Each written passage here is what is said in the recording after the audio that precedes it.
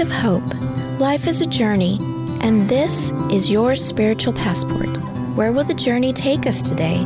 Let's walk together as we learn to become people of faith and hope. Welcome to Journeys of Hope. I'm Mary Jane Fox. I'm the co director at Pilgrim Center of Hope, where we are recording at St. Joseph Studio.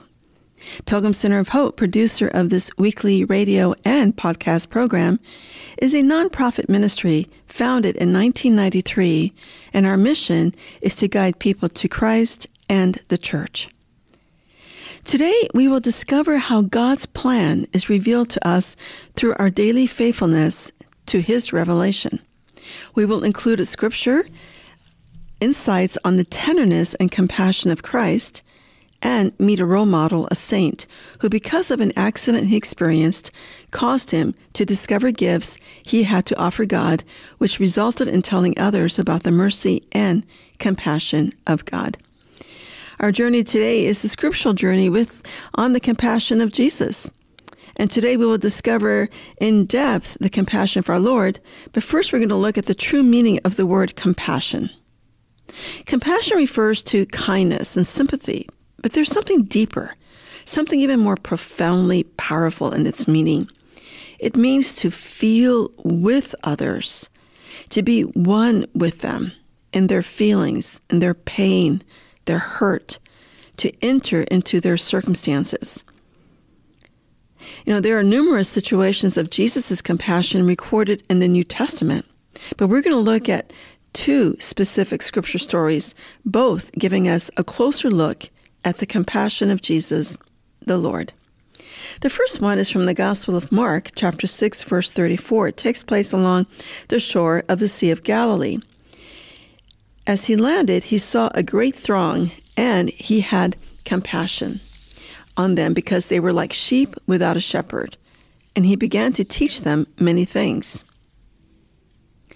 The second scripture we're going to take is from the Gospel of John, chapter 11, verses 17 to 44. But the story, it's about a story that takes place in the village named Bethany outside of Jerusalem. It's the story of Lazarus raised from the dead. Jesus wept because of the loss of his friend, but he raises him up from the dead. Now, these two scripture stories tell us of Je- that Jesus had compassion and that he was concerned for the other. Bishop Thomas John Gumbleton, in one of his homilies, stated that compassion was one of the most singular and important qualities, virtues of Jesus. Isn't that fascinating? One of Jesus' important virtue is that of compassion. But let's let's learn about the compassion of our Lord Jesus as we look at the first scripture story from the Gospel of of of, um, of Mark. Let's imagine ourselves along the shore of Galilee, a large lake in the northern part of ancient Palestine, which we, today we call the Holy Land. There are a couple of villages along the north shore of the Sea of Galilee where the Jewish people lived. Those two large villages, villages at that time were Capernaum and Magdala. However, between these two villages, the shore is quite open, and there would be fishermen along the shore with their boats.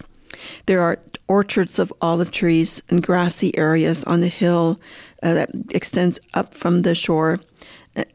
A main road from the northwest shore leads to the upper Galilee region, leading you to Nazareth. And this road was built by the Romans, and still today you can see a part of this ancient road. And Jesus, as well as others, would have traveled this road from Nazareth through, um, you know, along the, the Judea, the desert to the Galilee region, and then finding themselves north of the Sea of Galilee. Jesus spent most of his three years of public ministry in the Galilee area, and we and he would stay at the house of Peter, who was a fisherman and became one of the apostles. Jesus would visit the towns of Capernaum and Magdala. Capernaum was a thriving city. It sat at the crossroads of much traveling trading route the Way of the Sea, or Via Mar- uh, Maris, which was a thoroughfare open to travelers. It was like an international highway stretching from Damascus in Syria in the north to Egypt in the south. It was the ideal hub from which to spread the gospel. The Via Maris ran the full length of ancient Palestine and also served as the first century line of communication. In one day, news could travel 20 miles along this route in both directions. In two days, crowds in multiple thousands could come to see the one they hoped would be the Messiah. The other largest city in the northern shore of Galilee was Magdala, which was known for its fishing industry. They would export salted fish to Rome from here. And today, you can see the ancient ruins of Magdala. They show us where they kept the large groups of fish and an ancient synagogue with much of its original mosaic floors. Now, again, let's picture in our minds the northern shore of Galilee, parts of the shore is rocky and yet smooth enough to walk along the shore to the water and dock your boat. The distance between these two large villages mentioned earlier, Capernaum and Magdala, it's about oh a bit over two miles. And in between, we find, as I said, those fishermen mending their nets, preparing for their fishing time, which was most done during the night into the early morning. Jesus and the disciples had taken the boat to a lonely place away from the crowds to rest a while. They were always pressed by crowds. They had no leisure even to eat, so they went away in the boat by themselves. Now, place yourselves in the story. Jesus returns with the disciples by boat. The crowds see the boat coming to shore, and they are waiting for Jesus to arrive. As the scripture said, as he landed, he saw a great throng, and he had compassion on them because they were like sheep without a shepherd. And he began to teach them many things. Jesus feels compassion on seeing their spiritual need. The root word of compassion comes from Latin. It's misericordia, the same word for mercy. He looked at the crowds who came to see him with compassion. They were tired and hungry, had traveled a long way just to see him. He welcomed them all and healed their sick. It did not matter to Jesus why the crowds were there. He simply loved them without regard to their background or status in life. Even their lack of understanding of who he was and why he was there. Their, their understanding would soon come. He simply loved them right where they were. This happens today. Jesus loves us right where we are. That hasn't changed because God is God. Jesus is the Son of God. Well, they climbed the mountain to see him, and they must they must have been familiar with. Um, well, by that time they were famished. By the time they finally reached him uh, on this uh, like large hill, and he sees the people as a flock without a shepherd. Well, we all know that a flock of sheep needs a shepherd to care for them, guide them, and feed them. And so our Lord Jesus begins to teach them as he uh, is on this uh, semi small mountain. Uh, actually, it's a large hill along not too far from the shore of Galilee, and the people are gathered. And, uh, and he feeds them because the scripture story continues with Jesus telling the disciples to give them something to eat. Now, the word throng used earlier signifies a multitude, a crowd, a mass of people. So, two fish and five loaves of bread are presented to, to the Lord by the disciples. And Jesus tells the disciples to get the crowd seated and organized. Now, this is certainly unexpected. What would you think if you were one of the disciples? How are you to feed this multitude with two fish and five loaves of bread? However, let's recall that these disciples are followers of Jesus, who is, um, and they believe is their master, and they have seen how he has reacted to the crowd. They have seen him healing others and have heard him teach. So they've witnessed the compassion of their master. So they witness Jesus taking the two fish and the bread as he looks up to heaven, blesses the items, and gives them to the disciples to feed the people. Everyone ate, and they took up twelve baskets full of broken pieces and of the fish. Mark makes note in his gospel that those who ate were 5,000 men. Now, in this miracle, Jesus shows his supernatural power and his love for men. Before Jesus performed this miracle, though on such a grand scale, he did a very simple thing. He thanked his Father first. Jesus recognized that all good things, all good gifts come from our Heavenly Father. The gesture of our Lord looking up to heaven. I mean, here's Jesus, the Son of God, the Lord, who would be the Savior of the world, is looking up to heaven as he blesses the fish and loaves. And this is recalled in the liturgy, the Mass. It is when the priest takes the host in his hands during Mass, lifts it up toward heaven, and looks up, saying these words On the day before he was to suffer, he took bread in his holy and venerable hands, and with eyes raised to heaven, to you, O God, his almighty Father, giving you thanks, he said the bless, blessing, broke the bread, and gave it to his disciples, saying, Take this, all of you, and eat of it, for this is my body, which will be given up for you. Now, at this point in the Mass, we are preparing to be present at a miracle greater than that of the multiplication of the loaves, the changing of bread into his own body, offered as food for all mankind. He demonstrated his great love for us by feeding the multitudes while he was alive and then providing for all of us after he died and resurrected by breaking bread with his disciples and asking them to do this in memory of me. Now, what's so interesting is that this is a precursor to the Holy Eucharist and the Mass itself. You may be thinking, hmm, what's the connection? The connection of the fish and loaves and the Mass. Well, I will share with you from a book written by Bishop Arthur Serratelli of the Diocese of Paterson, New Jersey. In his recent book titled Scriptural Novena to Jesus in the Blessed Sacrament, Bishop Serratelli reveals a collection of insights about the Eucharist found in the Scripture and about the miracle of the multiplication of the loaves and fish by viewing it in the way a movie director looks at a scene from multiple camera angles. But I've, I've taken a, a, quote from the book that I'd like to share with you, which really hits the heart and, and what we're what we're talking about here on our journey. Quote, the fact that the Eucharist is at the heart of the church may very well be the reason why the evangelists give the miracle of the loaves and fish such a prominent place in their gospels. It is the only miracle that Jesus performed that is recorded in all four gospels. The Gospels differ on the number of fish that Jesus multiplied for the hungry crowd that day, either 4,000 or 5,000.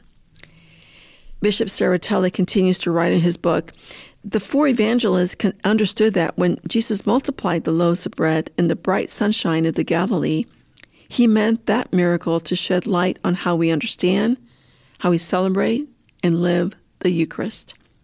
Jesus finds his joy in leading us to the happiness of being one with God. The Son of Man came to seek out and to save what was lost. Jesus stays with us in the Eucharist. It is the sacrament of divine compassion. This is what Bishop Serratelli writes. It is the sacrament of divine compassion. Whether it is a physical, emotional, or spiritual need that brings us before Jesus in the Blessed Sacrament, he greets us with open arms and embraces us in love. The closer we come to the Lord, the greater our joy. But let's return to the crowd. We should be impressed with the docility of the massive crowd. I think I was when I read the story. I said they're hungry. They've been out most of the day. How heaven knows how long they've traveled without very little food. They are being told to be seated on the grass. And it's interesting that the gospel writers mention grass, which means the springtime. um, you know, are they expecting? And the springtime is when Passover happens, and it was during the Passover when the Last Supper occurred. You know, the connections are, are just fantastic. But are they expecting to be fed without wondering how Jesus and his disciples will provide for the thousands present? However, they are docile. They're open to what will come because they believe they have placed their trust in this man Jesus. We should also be impressed how the disciples respond to Jesus. They do what they are told.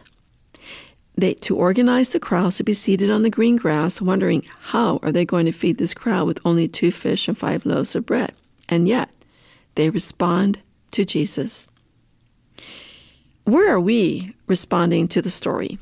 Are we in one in the crowd wanting to see this man called Jesus, the, the master, waiting to see what he can do for us? Are we relating with the disciples, wondering how is it that this situation, which seems impossible, would be addressed? Perhaps we can relate to both. And that's what's so beautiful about the scriptures and bringing the scriptures into our daily life. Ponder, reading and pondering the scriptures. Jesus took that small gift of five loaves of bread and two fish and he multiplied it by 5,000. And Jesus can do the same with us and for us as well. We bring to Jesus the small, what we believe are our small gifts, our talents, our abilities that we have, and He makes our gifts grow if, if we cooperate with the graces He sends to us. When Jesus does this, though, the increase in our gifts are not meant just for our own benefit. Our gifts were given to us to be shared with others, to build up the body of Christ as we are members of that body. Remember the part of the scripture story after they all ate and were satisfied, they took up 12 baskets full of broken pieces and of the fish. Well, the collecting of the leftovers is a way of showing us the value of little things done out of love for God. Nothing is wasted if done out of sincere love for God. Even the little things matter to God. And I think this is so powerful for us to remember and to think and to, to ponder and to think, I mean, to really, really take to heart. Because I have heard people tell me, oh, they don't bother God with the little things because they think that the small things don't matter to Him. On the contrary, this scripture tells us that the broken pieces we were gathered, the little things are important. What does this gospel passage teach us? that Jesus is concerned and feels compassion for the whole man, body, and soul. Jesus distributes the word to souls and cures and nourishes the body. Jesus did not click his fingers and make the loaves and fish appear. No, he looked up to heaven. He thanked his heavenly Father as he prayed, and the miracle of the multiplication occurred. The compassion of Jesus, the Master, as we discovered earlier, it did not matter to Jesus why the crowds were there. He simply loved them without regard to their situation in life. Jesus, the Son of God, our Lord and Master, loves us right where we are. But let's explore the second scripture story from the Gospel of John, chapter 11. It's the story of Lazarus being raised from the dead. Lazarus and his two sisters, Martha and Mary, lived in the village called Bethany, which is around two miles from Jerusalem. It's on the other side of the Mount of Olives. Today, there's a Catholic church built over the ruins of their home, and the nearby tomb is believed to be that of Lazarus, which is located near that church today. When Jesus would travel from Galilee to Jerusalem on pilgrimage for the Jewish feast days, he would sometimes stay at the home of his friends, Lazarus, Martha, and Mary, to which he was very attached. I'm not going to read the entire scripture, those the verses from 17 to 44. It's an amazing story, but just a summary of that scripture story. You know, Jesus hears about his friend Lazarus. He lies ill in Bethany. His sisters Martha and Mary send word to Jesus to come quickly. His, you know, their brother's sick, but Jesus waits to go. He tells the disciples that are with him, This illness is not until death. It is for the glory of God, so that the Son of God may be glorified by means of it. I mean of it. So Lazarus, though he dies, and it's play, he's placed in the family tomb near the house. Martha and Mary, his sisters, along with friends, mourn his death. Well, Jesus arrives after Lazarus has been placed in the tomb four days. Martha sees Jesus coming and goes to him and tells him, Lord, if you had been here, my brother would not have died. And even now I know that whatever you ask from God, God will give you. But what was Jesus' response? He said to Martha, Your brother will rise again. I am the resurrection and the life. He who believes in me, though he die, yet shall he live, and whoever lives and believes in me shall never die. Do you believe this? Of course, Martha responded that she did believe. Then she leads Jesus to the tomb. Jesus wept. This is the shortest sentence. Jesus wept. He was deeply moved. Jesus said, Take away the stone. And the stone here is a large rolling stone that covered the, the traditional tombs at that time. It would have taken several men to, to roll it, to move it. Well, Jesus lifted his eyes and said to Father, He said, Father, I thank you for hearing me. I know that you always hear me. But because of the crowd here, I have said this that they may believe that you sent me. Then he cried out with a loud voice, Lazarus, come out. Well, here he comes out. The dead man came out, tied hand and foot with burial bands, and his face was wrapped in a cloth. Jesus said, Unbind him and let him go. This is one of Jesus' most outstanding miracles. Nothing is impossible with God. Even having the stone removed, moved by several men, were, were, where were they thinking when Jesus said, Take away the stone? The stone, as large as it was, as heavy as it was, it was not an obstacle to the compassion of Jesus.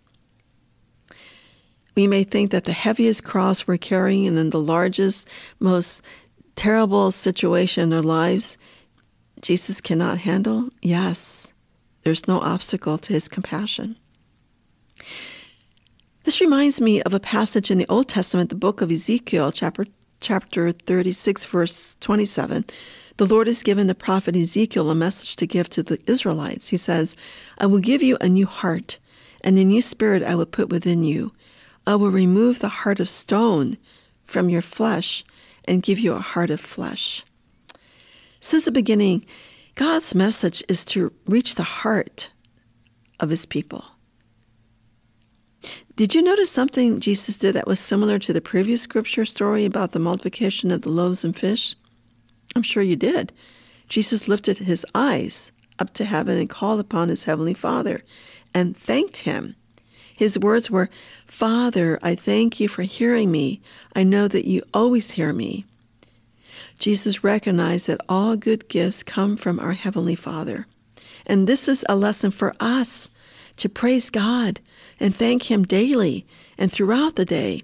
And even when we're not feeling good or are sick, we need to thank God for the gift of life, or what we have then, whether it be medicine, doctor, even insurance, or maybe if we don't have insurance to cover certain situations, to thank God that we live in, a, in a, uh, where perhaps others will help us in, in, the, in the right direction.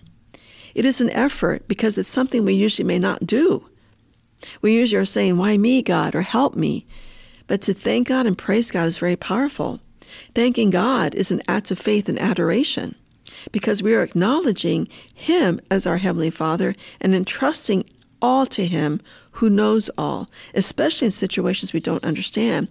we must believe that He wants to help us, He wants to heal according to His holy will, but He wants us to trust in Him. But let's take note of Martha's response to Jesus when she heard him tell her, Your brother will rise to life. Mar- Martha was filled with confidence after Jesus told her this. Well, our prayer can be like Martha, filled with confidence. And maybe we, we need to pray for the grace to be filled with confidence, a prayer of abandonment into the hands of God, who knows better than we what we need.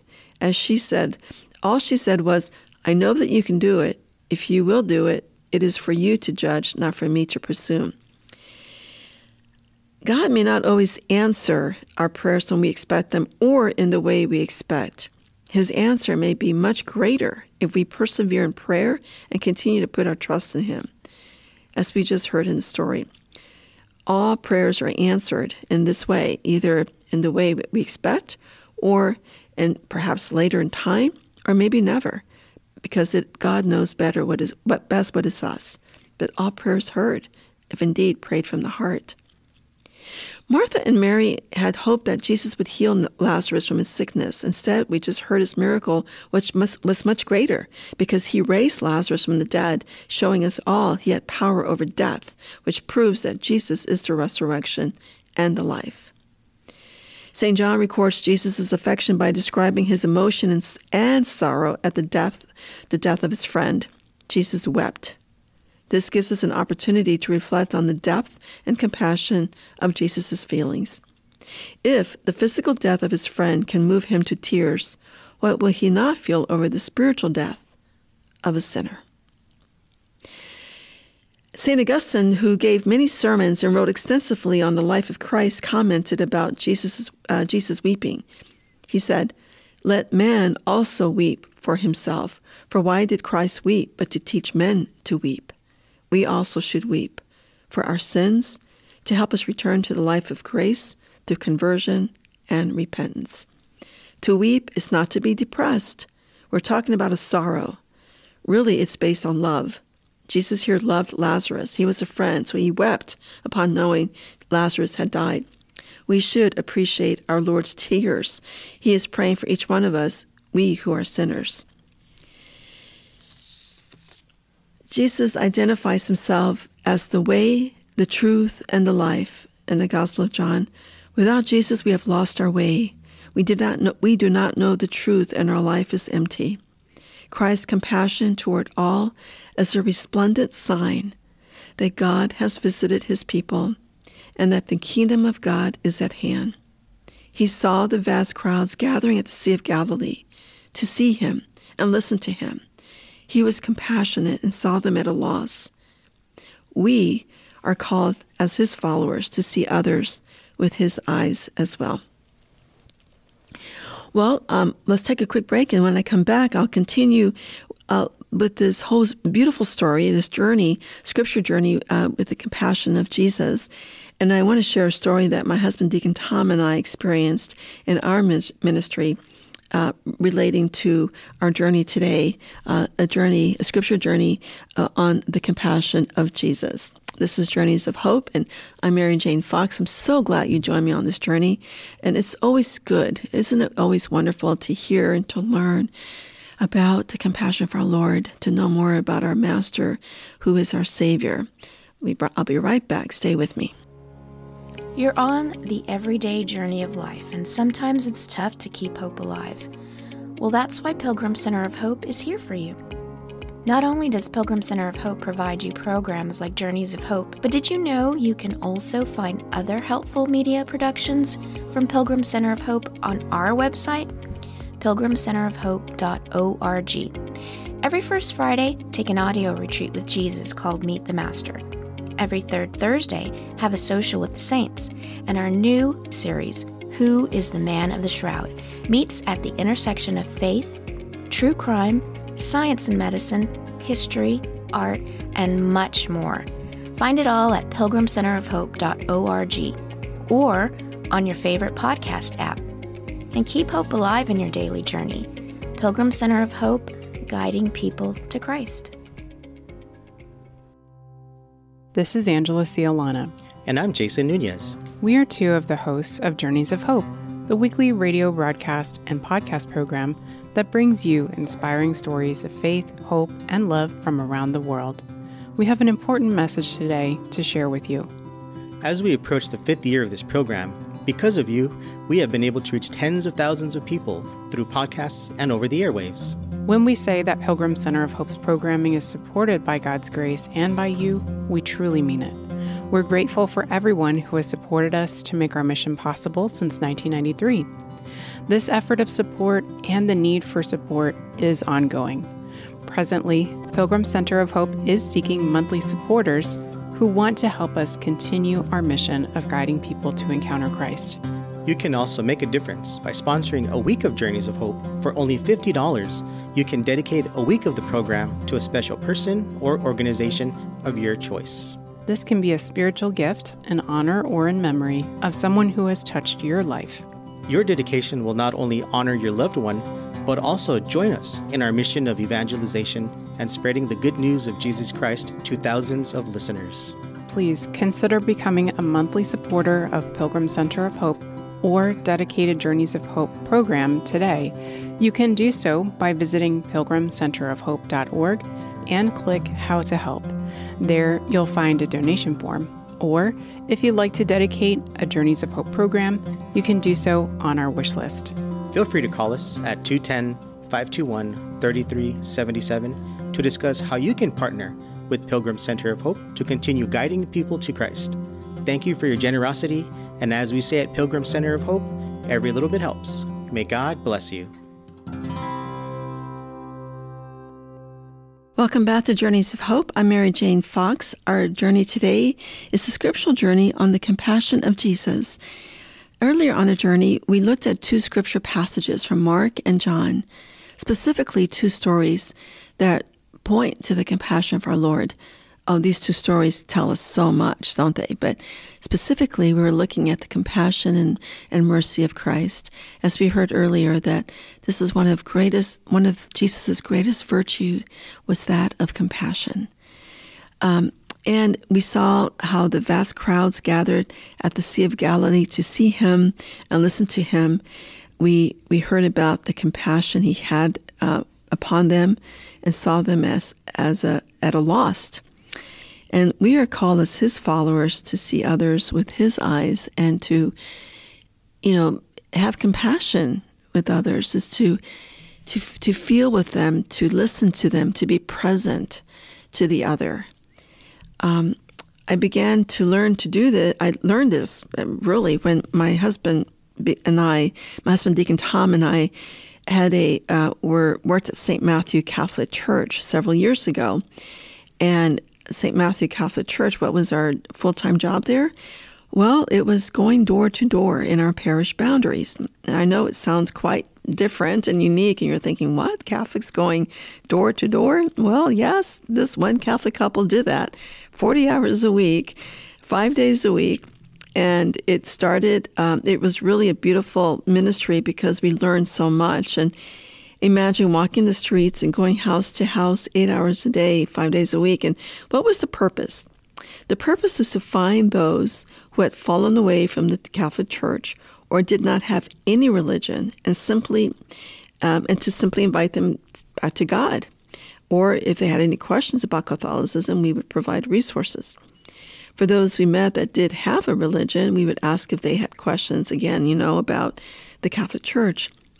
And, you know, we we came upon many situations, and you probably wondered did anybody slam the door in our face once they heard we were Catholic?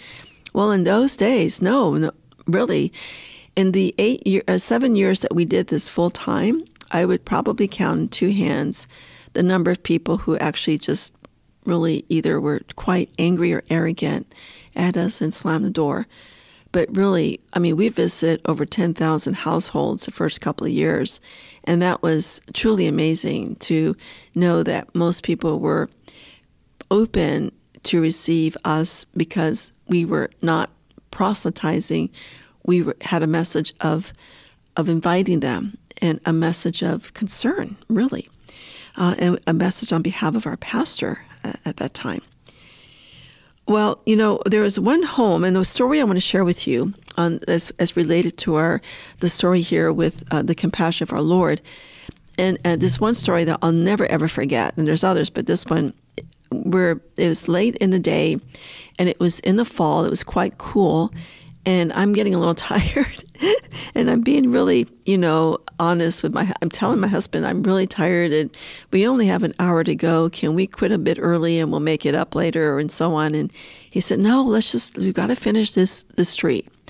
Well, would you know that the very last house on that street and it was actually not the end of the day it was in the afternoon i wanted to take a break let me let me go back with that story because it's really yeah, there, this story is it's we. I wanted to take my break earlier, and it was an hour than earlier than usual, and so um, he, so Deacon Tom says, my husband says, no, let's finish. Let's finish with the street. Let's visit all the homes, and then we'll take our break.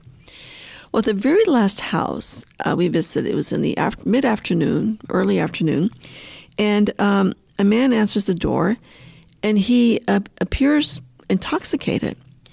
And so we introduced ourselves, though, as being from St. Matthew Catholic Church, asked if he was Catholic, and and he said, uh, No, I'm not Catholic, but I want you to come in and have a drink with me.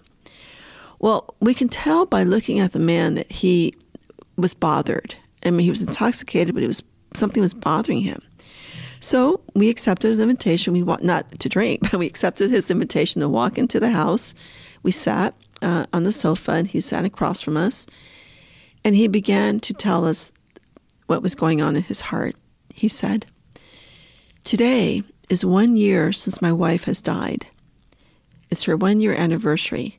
And he points to a beautiful portrait on a wall of her. She was quite beautiful.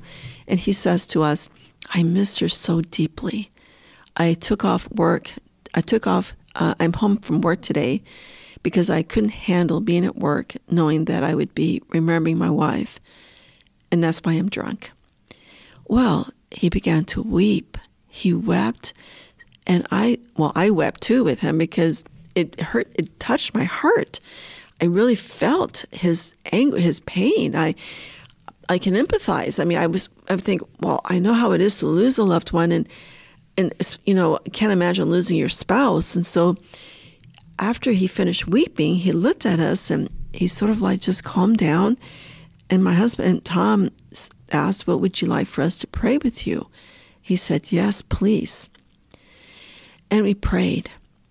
But after we prayed, he said to us, I want to share something with you. This morning, when I woke up, I said, God, help me. I'm not going to make it this day. I need you. Well, I mean, imagine that. When he said that, my heart jumped, Not only with joy, but in a way because I knew God heard it. I mean, he was like, he was, God was confirming his prayer. And so we, we told him that. We said, um, we, we, we called him by name. We said, Sir, I said, you know, the Lord heard your prayer. He, he read your heart. He loves you so much. And his countenance changed. I mean, he became more at peace and calm. But it's a lesson for us. Uh, you know, I'm not pointing to Tom and I as being the ones that were the heroes here. No, we're just instruments of our Lord. We're just his servants. But God used us as he wants to use you in situations that may be similar. Because nothing is coincidental with God. If truly we live in his presence, and we are aware of Him in our lives, then things are providential. It's providence, like in the situation with this man. This man, I mean, I would not have met him if I quit early and took my break, my break early. But it was the persistence of my husband that we finished that, that street that we met this gentleman. And to this day, I'll, I'll remember that story because it taught me a lot. That we can we can never take for granted God's compassion and that God hears hears this man lying in his bed that morning crying out to God all alone and feeling pain, anguish and sorrow of losing his wife, missing his wife and yet here God provided us to go and knock on his door. So, you know, I, I really I think that again, this is a great lesson for us in the sense that we are um, not only his servants, that God wants to, if I say use us, yes, because he loves us and, and we're and we're called to be little lights in, in this world that needs so much hope.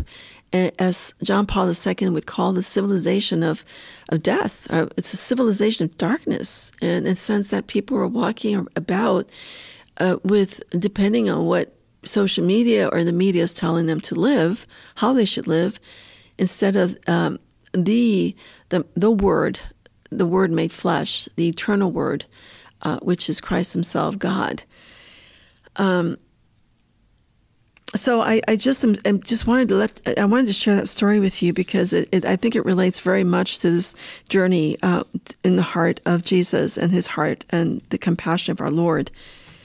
You know, Jesus has the power not only to multiply the fish and loaves and feed thousands, as we heard earlier, yes, not only to raise Lazarus from the dead for the glory of the Father, he also forgives sins. He has come to heal the whole person, the whole you know, soul and body, spirit and mind. He is the divine physician. I love to, that title. That I use that title quite often when I pray with my friends or others who are sick. That the Lord, the divine physician, is the one that is carrying that is is caring for us.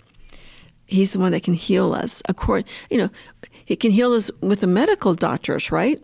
In the case of, of being physically sick, uh, or or using other means, in, in uh, you know, Bible study, or being in a community, or a message. Like I said, you know, things when we are in light of God's, um, if if we're in, in, in His light and, and really living, wanting to live in His grace, then we can see more so the opportunities that occur before us and see that they are providential, not coincidental. The compassion of our Lord toward all who suffer goes so far that he identifies himself with them. He says, I was, I was sick, and you visited me. His, his love for the sick has not ceased through the centuries to draw the very special attention of Christians toward all those who suffer in body and soul. It is the source of tireless efforts to comfort them. Jesus wept for the loss of his friend Lazarus. The fruit of his presence, the miracles he performed, were for the glory of God, his heavenly Father, so we can believe in the omnipotent power and mercy of God, who is the creator of the universe. This is the understanding that we need to take with us. We can offer him our small loaves, our prayers, being confident that he will do with these accordingly to the Father's will and for our own good Whatever our past or our present may be, God can truly make wonders in us, can transform us anew, can make miracles in us so long as we are open and receptive to Him. The compassion of Jesus, our Master, is real and it is endless.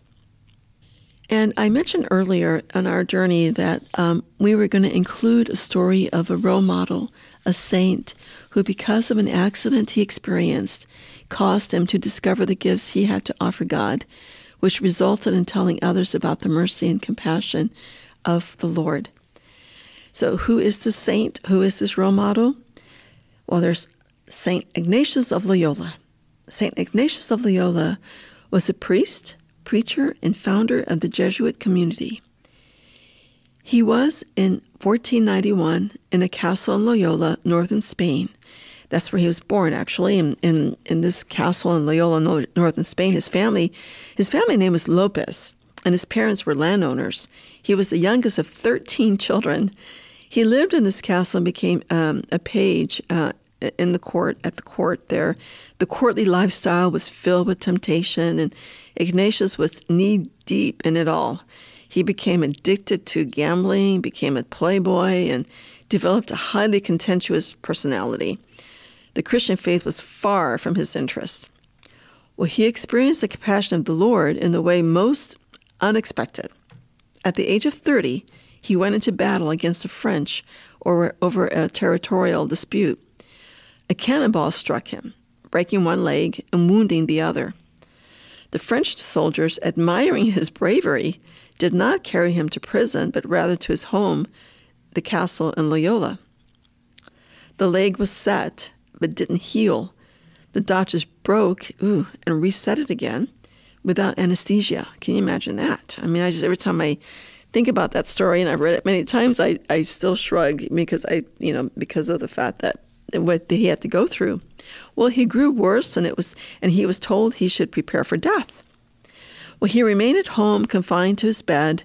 As time went on, his leg did heal, but the bone protruded below the knee, and he had one leg shorter than the other, so he walked with a, with a limp. Eventually, when he did walk, it was with a limp. To him, this was unacceptable. He demanded the doctors saw off the protruding bone, which is the bone piece, and lengthened the short leg by systematically stretching it. Imagine his determination.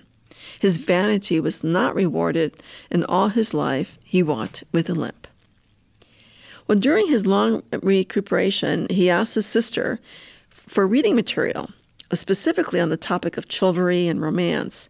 Instead, his sister, who is a devout Catholic, brought him two books on the life of Christ, and the other was about the saints. Well, since he couldn't get up and exchange the books, he went ahead and began to read the books. He found himself curiously satisfied and at peace when reflecting on the life of Christ and on the saints. Well, his conversion had begun. After regaining health, he decided to journey on pilgrimage to Montserrat, which is um, a, a, shrine of Our Lady of Montserrat. It's a beautiful shrine. I've seen it. It's in near Barcelona, Spain, which is a home to a miraculous image of Mary, the Mother of God.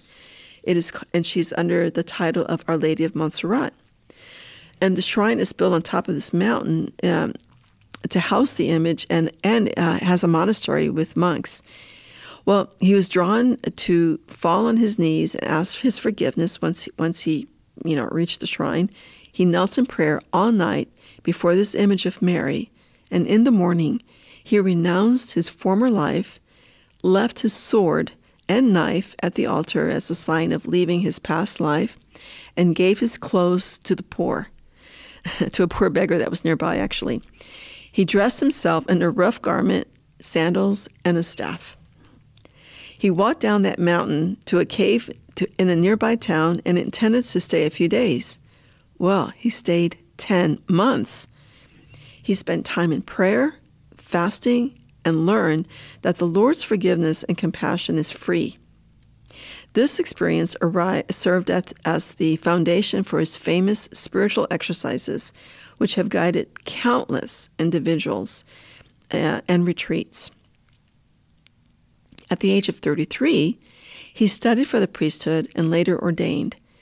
He was ordained um, around that time, he studied for 11 years in various Euro- European universities with great difficulty, beginning almost as a child. But at the age of 43, he and six others, six other men specifically, vowed to live in poverty and chastity and to teach about the compassion of Christ. This was the beginning of the Jesuit community. Their motto was, For the greater glory of God. Isn't that a great motto? For the greater glory of God. That could be that could be our model, right? Every day for the greater glory of God. Well, Ignatius was a true mystic. He centered his spiritual life on the essential foundations of Christianity. All activity was to be guided by a true love of, of the church and unconditional obedience to the Holy Father, for which reason all professed members took a fourth vow to go wherever the Pope should send them for the salvation of souls. Ignatius died at the age of 65. The church celebrates his feast day on July 31st. He is the patron saint of soldiers, retreats, and spiritual exercises. So if you'd like to read more about St. Ignatius of Loyola, we you can obtain our pamphlet on our website, pilgrimcenterofhope.org. And this pamphlet is a, uh, is a, is a short pamphlet that we've compiled uh, about a story. And we have many of those on various saints because of our ministry here at Pilgrim Center of Hope called Socials with the Saints that um, introduce people on a monthly basis. Once a month, we have a event here at Pilgrim Center of Hope where we read, uh, those who gather read the pamphlet together, and then we have a spiritual discussion um, how we can relate to the saint or how the saint can, um, you know, teach us uh, today, no matter what century they lived. Because remember, the saints are the living members, are living members of the body of Christ. We're called to be saints, but they've made it with a capital S, uh, uh in in the sense that the church has recognized them because of their heroic virtues, their heroic way of living the Christian life, and really just living the the two greatest commandments, which is to love God with all your heart, mind, body, and soul, and to love your neighbor as yourself. And so these socials with the saints on a monthly basis are at Pilgrim Center of Hope, and it's it's pretty. Um, and if you can't come in person, we have the the pamphlet is actually read into a podcast, and so you could also listen to that um, uh, on our our website or on your favorite podcast. It's under Socials with the Saints. But you know, again, the saints teach us so much about the compassion of Jesus. Don't you know that they all experienced this compassion? That's why after they went through a conversion. I mean, think about your own conversion. Think of, or think about the times when you experienced a good of God from God, whether it be a good message, good news from a doctor, or just feeling good and knowing that all of a sudden you catch yourself thanking God, and and we need to be aware of that. That's that comes from the heart. That comes from the heart. And when we're tempted to be angry, and it, it, anger is, is is a just emotion, and and it causes us to move forward with courage to address situations that need to be addressed, but not to stay in anger. To stay in anger is different, and it can lead to other consequences. But if we do come across a situation where we can become angry, then think of the compassion of our Lord. And sometimes I think, well, Jesus, how would you respond to this? How should I respond? And and it would the more we we we, we try to do this on a daily basis, the more we choose in our mind these thoughts or in our words to say these this prayer, whether it be to ourselves or even out loud, if we're with a friend or a family member, we're witnessing to them, but we're also out loud reminding ourselves of what we believe in. you know, sometimes I'm driving in the car and I may be alone if I'm driving and I'm, you know, sorry to praise God or I'm imploring His mercy because all of a sudden I feel like, well, God, I'm just so thankful, but I want to pray now for times when maybe I'm remembering my friends or someone who called me recently and said they needed prayer. I remember them and I want to pray for them. So this is how we can act uh, as a compassionate disciple of our Lord.